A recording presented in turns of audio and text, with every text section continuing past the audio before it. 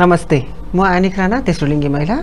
बुद्ध टेलिभिजनको प्रस्तुति यो कार्यक्रम परिवर्तन आदरणीय दर्शक महानुभावहरू हामी हरेक साता यसै समय यहाँहरू समक्ष उपस्थित हुने गर्छौँ।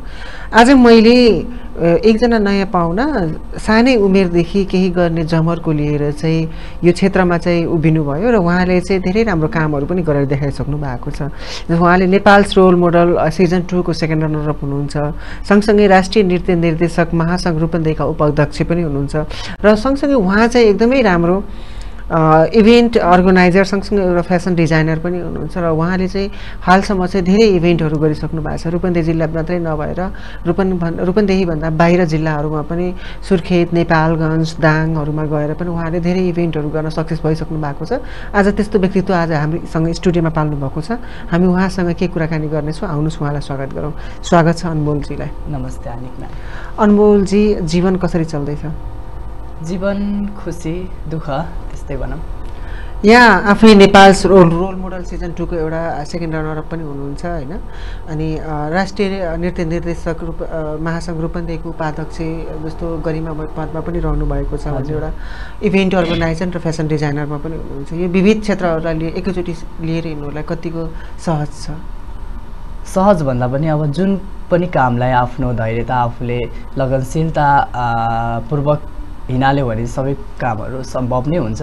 तर समयले अलिकति कहिलेकाहीँ मात खान्छ। कहिले एउटै समयमा दुइटै कामहरू पर्न सक्छ। त्यसले अब कुनै समयमा एउटा एउटा समयलाई तोकेर एउटा काम र अर्को समयलाई तोकेर अर्को काम गर्न नि मिल्छ।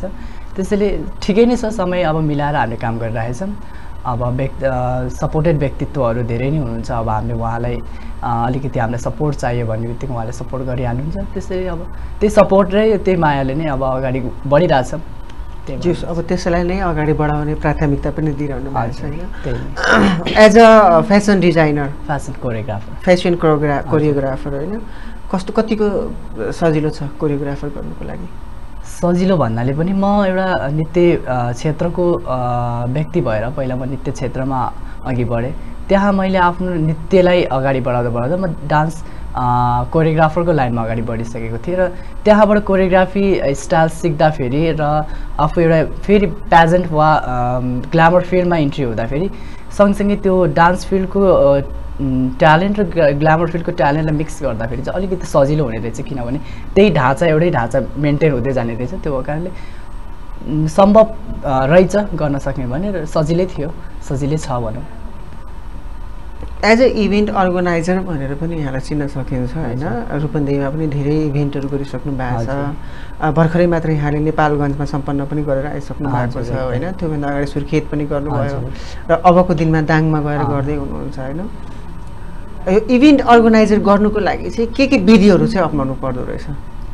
विधि भन्नाले पनि आफू एउटा आफ्नो एउटा दिमागमा चाहिँ के सेटअप गर्नुपर्ने रहेछ भने मैले चाहिँ एउटा गर्ने सक्ने काम मैले गर्न सक्छु भन्ने एउटा आँट लिनुपर्ने रहेछ र त्यहाँको व्यक्तित्वहरूलाई चाहिँ आफूले चिन्नुपर्ने रहेछ पहिलोपल्ट।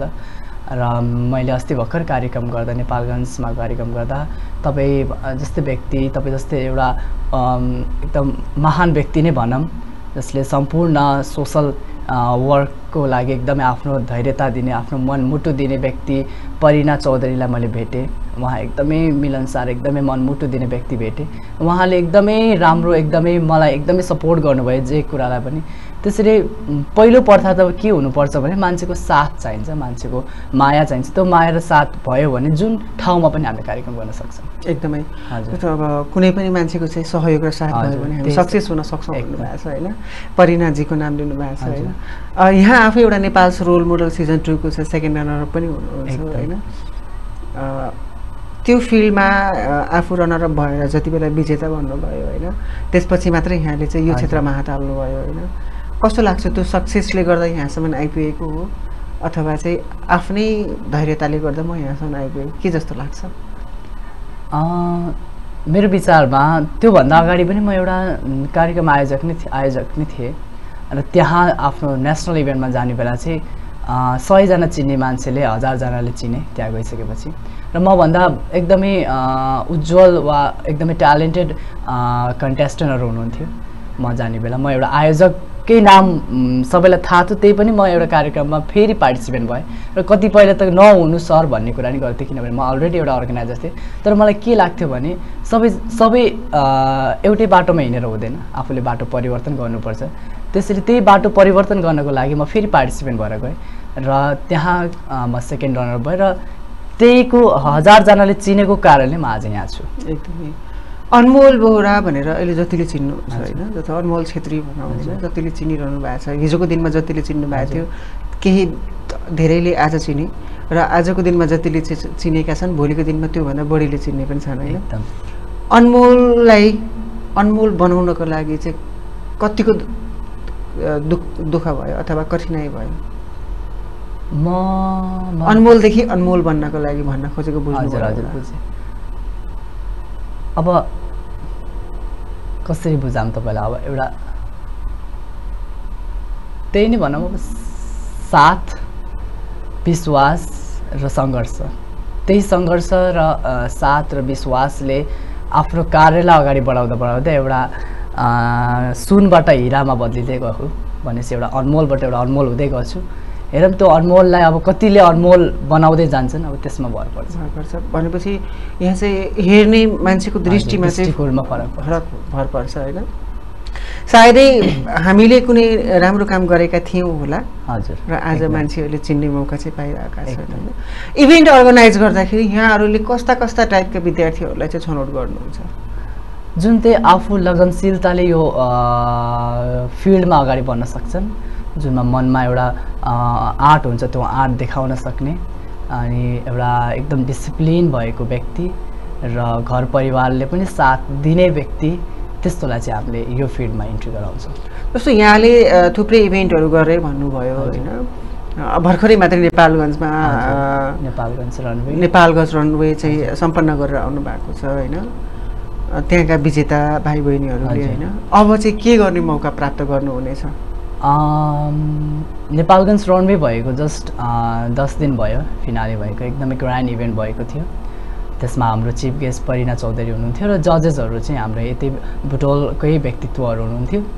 अ, त्यसमा म तपाईँलाई त्यहाँ देख्न पाएन तपाईँको बिजी सेड्युलले गर्दा है। नेपालगञ्ज रनवेको विजेताहरू यस्तो खतरा हुनुहुन्छ यस्तो ट्यालेन्टेड हुनुहुन्छ एकदमै किनभने उहाँहरूले एकदमै मनबाट सिक्नुहुन्थ्यो। है मनबाट एकदम मैले हामीले गर्नुपर्छ हामी अगाडि बढ्नुपर्छ भन्ने त्यस्तो सोच लिएर अगाडि बढ्नुहुन्थ्यो। त्यसैले हामीसँग तिनजना विनर्स हुनुहुन्छ अहिले। किन अरू अरू इभेन्टमा हामीले देख्न सक्छौँ दुईजना विनर्स हुन्छ एकजना विनर्स हुन्छ तर हाम्रो तिनजना विनर्स हुनुहुन्छ। किनभने हामीले त्यहाँबाट छुट्याउनै सकेनौँ। एउटा आयोजकले पनि एउटा छुट्याउन सकेन र जजहरूले पनि छुट्याउन सकेन। त्यस्तो एकदमै एकदम भन्दा पनि एकदम कम्पिटिसन थियो त्यहाँ। त्यसैले हामीसँग ट्वेन्टी फोर कन्टेस्टेन्ट हुनुहुन्थ्यो। र ट्वेन्टी फोर कन्टेस्टेन्टमा हाम्रो तिनजना विनर हुनुहुन्छ।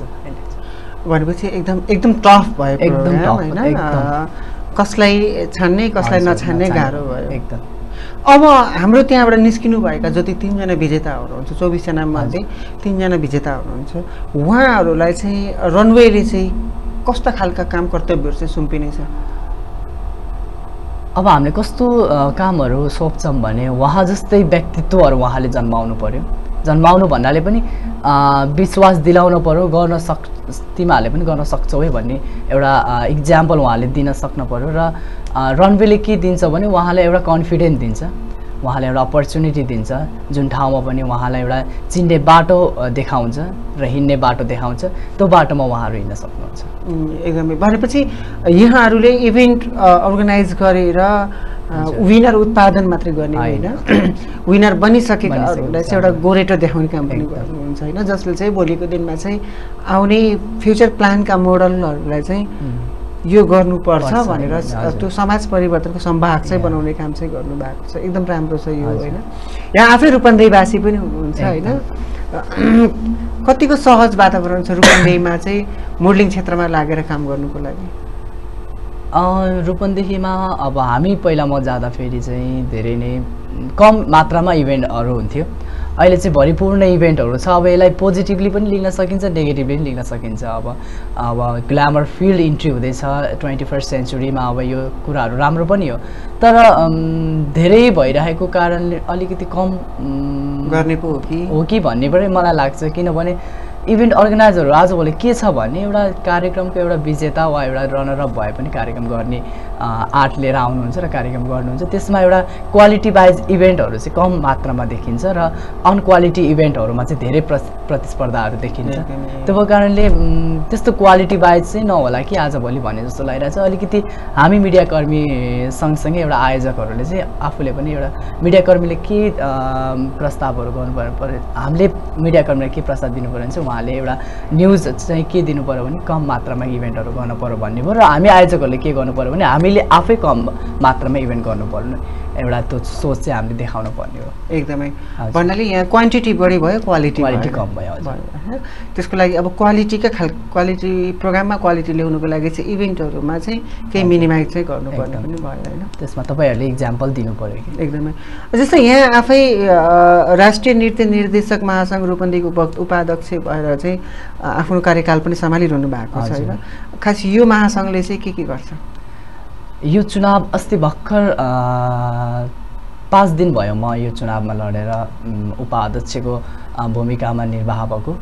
हाम्रो अध्यक्ष हुनुहुन्छ अनुरजकज्यू र सुन्दर सर सबै हाम्रो यहीँको व्यक्तित्वहरू हुनुहुन्छ। उहाँ राष्ट्रिय राष्ट्रियमै आफ्नो नामहरू राख्नुभएको छ र उहाँहरूले चाहिँ मलाई छनौट गर्नुभएको छ किनभने म देवदहवासी भन्नाले अब पूर्वतिरको बासी भएको कारणले म पूर्वको पुरै एरिया चाहिँ मैले हेर्न सक्छु। मैले अनमोलले चाहिँ गर्न सक्छ भन्ने एउटा त्यो विश्वास देख्नु भएको कारणले चाहिँ चुनावमा लड्ने बेला चाहिँ मलाई अलिकति बढी भोट आएको कारणले म उपाध्यक्षमा अगाडि बढेँ र नृत्य क्षेत्रमा पनि म सानैबाट लागि परेको कारणले त्यसमा पनि मलाई आफ्नो लगनशीलता देखाइरहेको छु देखाइरहने छु र त्यही कारणले चाहिँ म यो यो राष्ट्रिय नृत्य निर्देशक महासङ्घको चाहिँ उपाध्यक्ष बनेको छु। भनेपछि अब यो नृत्य निर्देशक महासङ्घ जुन छ यसले चाहिँ नृत्यलाई मात्रै हेर्ने या अथवा मोडलिङ क्षेत्रलाई पनि हेर्ने के के गर्छ? होइन यो नृत्यलाई मात्रै हेर्छु नृत्यलाई मात्रै। हेर्छ भनेपछि अब रूपन्देही जिल्ला बेसिस। नृत्याङ्गनाहरू जति हुनुहुन्छ होइन। नृत्यमा सहभागी हुने भाइ। अथवा बहिनी होइन।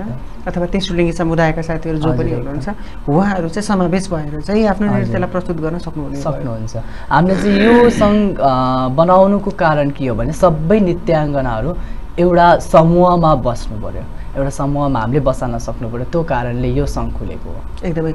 मलाई अलिकति जान्नु मन लाग्यो। यहाँ अब। एउटा इभेन्ट फेसन अर्गा डिजाइनर पनि हुनुहुन्छ। कोरियोग्राफर। हुनुहुन्छ होइन? फेसन डिजाइनर पनि हुनुहुन्छ। अनि रोल्स नेपाल रोल मोडलको एउटा से सिजन सेकेन्डको रनरअप पनि हुनुहुन्छ होइन। सँगसँगै अब यो नृत्य महासङ्घको उपाध्यक्ष पनि हुनुहुन्छ। यो विविध जुन फाँटहरू छन् होइन। यसमा समावेश हुँदा हुँदै हाम- हामीले चाहिँ फोकस महिला पुरुष गर्ने गर्छौँ कि। हजुर। तर समाजमा महिला र पुरुषभन्दा भिन्नै प्रकारका व्यक्तित्वहरू जसलाई तेस्रो लिङ्गी समलिङ्गी भनेर चिन्ने गर्छौँ। त्यस्ता खालका व्यक्तिहरूलाई चाहिँ यहाँहरूले आफ्नो प्रोग्रामहरूमा चाहिँ समावेश गराउनुहुन्छ या हुँदैन? त्यो त भन्ने बाटो नै होइन किनभने मेरो हरेक कार्यक्रममा हरेक ठाउँमा हरेक भनौँ न कार्यक्रमहरूमा म तेस्रो लिङ्गे हाम्रो दिदीबहिनीहरूलाई चाहिँ म जहिले पनि सामेल गरेकै हुन्छु। जुन कार्यक्रममा पनि उहाँलाई मैले सम्झेको हुन्छु। अडिसनदेखि लिएर फाइनलसम्म उहाँलाई सम्झेको हुन्छु किनभने उहाँको आशीर्वादले नै हामी अगाडि बढिरहेका छौँ है। अब उहाँहरूको केटा पुरुष र महिलाको बिचमा उहाँहरू अघि बढिराख्नु भएको छ भने हामीभन्दा उहाँ एउटा अब्बल व्यक्ति हुनुहुन्छ। जस्तै हामी इक्जाम्पलको लागि अब इक्जाम्पलको लागि त धेरै हुनुहुन्छ।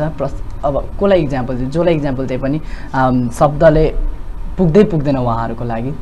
अब एक चाहिँ इक्जाम्पल अब अस्ति भर्खर त्यति ग्रान्ड सो भयो अब नेपालगञ्जमा। त्यहाँ विभिन्न ठाउँको विभिन्न क्षेत्रको विभिन्न स्थानको व्यक्तिहरू हुनुहुन्थ्यो। तर मेरो Nepalgunj रनवेमा as a chief guest Parina Chaudhary आउनुभयो भने चाहिँ तपाईँ आफैले बुझ्नुहुन्छ मैले कतिसम्म माया गर्छु भनेर। त्यसैले मेरो हरेक जुन बाटो म आज अगाडि बढिरहेको छु जुन बाटो मलाई धकिलिराख्नु भएको छ जुन बा जुन ट्रफी वा जुन ठाउँमा म पुग्ने कोसिस गरेको छु त्यो तेस्रो लिङ्गे साथीहरूले नै मलाई साथ र सहयोग दिनुभएको छ बस म डाइरेक्टली त्यही भन्न चाहन्छु भनेपछि मैले मात्रै होइन अहिले आम दर्शक जसले। हामीलाई हेरेर सुनिरहनु भएको छ। होइन उहाँहरूले के बुझ्नु पऱ्यो भन्दाखेरि कुनै पनि सफलतामा पुग्नुको लागि चाहिँ होइन। महिला पुरुष तेस्रो लिङ्गी सबै वर्गको। चाहिँ हामीले हातोमालो गर्न सकियो। अथवा सबैलाई सँगै लिएर हिँड्न सकियो भने चाहिँ त्यो चाहिँ हामी सक्सेस हुन सक्छौँ एकदम सजिलोसँग सक्सेस हुन सकिन्छ। एकदमै। राम्रो कुरा ल्याउनु भएको छ। अब तपाईँको फ्युचर प्लान के छ? अब रूपन्देहीमा चाहिँ के गर्दै हुनुहुन्छ? रूपन्देहीमा मेरो अहिले चाहिँ एज अ नृत्य क्षेत्रमै अलिकति लागि परिरहेको छु। एज अ राष्ट्रिय नृत्य निर्देशकको महासङ्घको उपाध्यक्ष भएको कारणले चाहिँ मैले त्यो भूमिका चाहिँ म आफै निर्वाह गर्नुपर्छ र अहिलेको भोलि नै म अब दाङ जाँदैछु मिस्टर मिस दाङको लागि र त्यस्तै गरी अब सुर्खेत र नेपालगञ्ज र त्यस्तै गरी बल्ल म रूपन्देहीमा भित्रिनेछु। अहिले अहिले अहिलेको लागि चाहिँ मेरो रूपन्देहीमा अलिक कम मात्रामै म देखिनेछु भनौँ। भनेपछि दाङको प्रिपेरेसन चाहिँ कस्तो कस्तो खालको इभेन्ट अब दाङमा अर्गनाइज। गर्दै हुनुहुन्छ तपाईँ यहाँ आफैले भनिहाल्नु भयो म। भोलि दाङ जाँदैछु भनेर होइन कस्ता खालका कार्यक्रमहरू चाहिँ दाङमा चाहिँ दाङमा? चाहिँ म एज अ आयोजकमा छैन अहिले चाहिँ एज अ फेसन कोरियोग्राफरमा छु त्यहाँ चाहिँ मिस्टर मिस दाङ भन्ने एउटा इभेन्ट हुँदैछ त्यसको लागि चाहिँ ब्युटी प्याजेन्ट हो त्यो चाहिँ है ब्युटी प्याजेन्ट अब त्यही ब्युटी प्याजेन्टको लागि चाहिँ म भोलि जाँदैछु अब त्यही नै हो। प्रिपेरेसन त अब भइरहेछ। पार्टिसिपेन्ट हेरेर प्रिपेरेसन हुन्छ कस्तो खालको व्यक्तित्वहरू हुनुहुन्छ र कसरी हामीले सिकाउनु पर्ने छ त्यो हेरेर म अगाडि बढ्नेछु। मोडलिङको क्षेत्रमै लाग्नुको लागि अनमोलजीलाई चाहिँ भनिन्छ नि होइन? कोही न कोही चाहिँ एउटा प्रेरणाको स्रोत हुन्छ भनेर। यहाँको प्रेरणाको स्रोत चाहिँ को? प्रेरणाको स्रोत भन्नाले एज अ रोल मोडल म जानुभन्दा अगाडि मेरो पहि पहिलेदेखि नै एउटा रोल मोडल हुनुहुन्थ्यो जसले रोल मोडल नै आयोजक गर्नुभयो फेरि। भनेपछि रेसन नेउपाने नै मेरो रोल मोडल हुनुहुन्छ। उहाँको प्रेरणा उहाँको एउटा लगनशीलता उहाँको सोच उहाँको हिँड्ने बाटो सबै मैले आफ्नो अ, मनमुटुमा राखेर नै उहाँ सँगसँगै अगाडि बढिरहेको छु। भनेपछि मेरो प्रेरणाको स्रोत भनेकै रेसन नेउपाने नै हो। एकदमै होइन। किनभने कोही न कोही व्यक्तिले चाहिँ केही न केही उत्प्रेरणा चाहिँ हामीलाई जगाइरहेको हुन्छ कि होइन? कुनै न कुनै एङ्गलबाट। जस्तै अब अनमोलजीलाई हेरेर मैले सिक्नु पऱ्यो भने के सिक्ने? मलाई हेरेर? मलाई हेरेर तपाईँले के सिक्नुहुन्छ भने उमेरले केही फरक पार्दैन। पार्दैन। आफ्नो सोच जहिले पनि पोजिटिभ हुनु पऱ्यो र गर्न सक्छु भन्ने एउटा विश्वास हुनु पऱ्यो र म अगाडि बढ्न सक्छु भन्ने आँट हुनु पऱ्यो त्यही नै तपाईँले सिक्नुहुन्छ कि भन्ने जस्तो। मैले त्यही जान्न मात्रै खोजेँ। किनभने हरेक व्यक्तिभित्र एउटा पोजिटिभ भाइब्रेसन चाहिँ हुनुपर्छ होइन? जुन भाइब्रेसन चाहिँ अरूलाई अरूलाई पनि त्यसले चाहिँ बिथोल्ने काम चाहिँ गरेर खोज्छ। बिथोल्ने भने चाहिँ नकारात्मक तरिकाले होइन। सकारात्मक तरिकाले चाहिँ उसलाई चाहिँ भाइब्रेट गर्यो भने चाहिँ त्यो भाइब्रेट चाहिँ अरूमा गयो भने होइन? त्यसले चाहिँ भाइब्रेसनको काम गर्छ जसले चाहिँ अरूमा पनि सकारात्मक सोच सकारात्मक जीवनशैली होइन? सकारात्मक तरिकाले हेर्ने नजरियामा चाहिँ परिवर्तन आउँछ मात्रै भन्न। खोजेँ अब जस्तै अनमोलजी दाङको कार्यक्रम सकिसकेपछि सुर्खेत जान्छु भन्नुभएको छ होइन? सुर्खेतबाट फेरि बल्ल रूपन्देही आउँछु भन्नुभएको छ। अनि यहाँले विभिन्न इभेन्टहरू अर्गनाइज पनि गर्दै आइरहनु भएको छ। विभिन्न सङ्घ संस्थाहरूमा आबद्ध। पनि हुनुहुन्छ होइन? यसरी काम गर्दाखेरि पारिवारिक जीवनमा कतिको असर पर्छ? कतिको समय दिन भ्याउँदा नभ्याउँदा कस्तो हुन्छ? धेरै नै कठिनाइ हुन्छ। अब घरबाट फोन आ आउँदाखेरि आफू एउटा ट्रेनिङमा भइन्छ त्यति बेला कल उठाउन पाइन्न। त्यसपछि के कस्तो हुन्छ भने घरबाट निस्किने बेला घरको बाहिरको बुट यत्रो हुन्छ भने घर फर्किँदाखेरि यत्रो हुन्छ। भनेपछि त्यो कतिखेर के हुँदैछ घर परिवार कतिखेर के हुँदैछ भन्ने थाहै हुँदैन। आज फोन गर्दा मम्मी बिरामी हुनुहुन्छ भने पर्सि फोन गर्दाखेरि सन्चो भइसक्नुहुन्छ। भनेपछि मैले त्यो मनबाट त्यो के भन्छ बुझ्न पनि सकेको छैन कि घर परिवारमा के हुँदैछ कस्तो हुँदैछ भन्ने किनभने म आफू आफूले धैर्यता लिएर अगाडि बढिरहेको छ भने परिवारतिर एज अ त्यो त दुःखमय कुरा हो त्यो हामीले समय दिन पाएकै छैनौँ भनौँ छोड्दा केही थियो फर्किँदा। केही हुन्छ होइन। त्यसले गर्दाखेरि परिवारमा के भएको छ भन्ने कुरा पनि हामीले गतिविधि बुझ्न पनि सक्दैनौँ। जस्तै हामी कार्यक्रमको अन्तिम अन्तिमतिर आइसकेका छौँ। जाँदा जाँदै अनुगुलजी हजुर। यहाँले अब जुन इभेन्टहरू अर्गनाइज गर्दै हुनुहुन्छ त्यसको लागि केही भन्न चाहनुहुन्छ भने छुट गरेर भनिदिनुहोस् न। अब सबै ब्युटी प्याजेन्टहरू एज अर्गनाइजरहरू सबै हाम मलाई हेरिराख्नु भएको छ होला। के के हामीले के बुझ्नु पऱ्यो भने क्वान्टिटी मात्र हेरेर भएन क्वालिटी हुनु पऱ्यो त्यही क्वालिटी भएको मोडल्सहरू चाहिँ धेरै अगाडि बढ्नुहुन्छ। त्यही क्वालिटी भएकै एउटा विजेताहरू नेपाललाई प्रतिस्पर्धा गरेर वा नेपालबाट प्रतिस्पर् प्रतिस्पर्धी भएर अन्तर्राष्ट्रियसम्म जान सक्नुहुन्छ। त्यतिसम्म ट्यालेन्टेड हाम्रो नेपालको व्यक्तित्वहरू हुन्छ। त्यसैले हामीले क्वालिटीमा भन्दा पनि क्वान्टिटीमा ध्यान दिनु पऱ्यो त्यही नै भन्न चाहन्छु। व्यस्तताका बावजुद पनि निम्तलाई स्वीकार गरेर। स्टुडियोसम्म आइदिनु भयो त्यसको लागि यहाँलाई धन्यवाद। आदरणीय दर्शक महानुभावहरू यतिन्जेल हामीले कुरा गऱ्यौँ। नेपाल्स रोल मोडल सिजन टूका सेकेन्ड रनर अप। सँगसँगै राष्ट्रिय नृत्य निर्देशक महासङ्घ रूपन्देहीका हालै सम्पन्न भएको अधिवेशनबाट निर्विरोध निर्वाचित उपाध्यक्ष र event fashion event organiser organiser र fashion designer fashion choreographer Anmol बोहरासँग कुराकानी गऱ्यौँ उहाँले चाहिँ यस क्षेत्रमा आउनका लागि चाहिँ क्वान्टिटी भन्दा पनि क्वालिटीमा चाहिँ हामीले पर्फेक्ट तरिकाले चाहिँ हेर्नुपर्छ र क्वान्टिटीमा मात्रै नम्बरिङमा धेरै होइन क्वालिटीमा चाहिँ हामीले इभेन्ट गर्नुपर्छ भनेर भनिसक्नु भएको छ। कोही पनि व्यक्तित्वहरूले यस्तो खालको कार्यक्रम गर्दै हुनुहुन्छ भने क्वालिटीलाई मध्यनजर राखेर काम गर्नु हुन अनुरोध गर्दै आजको लागि यति नै। अर्को साता हाम्रो भेटघाट हुनेछ। तबसम्मको लागि बिदा दिनुहोस्। नमस्ते।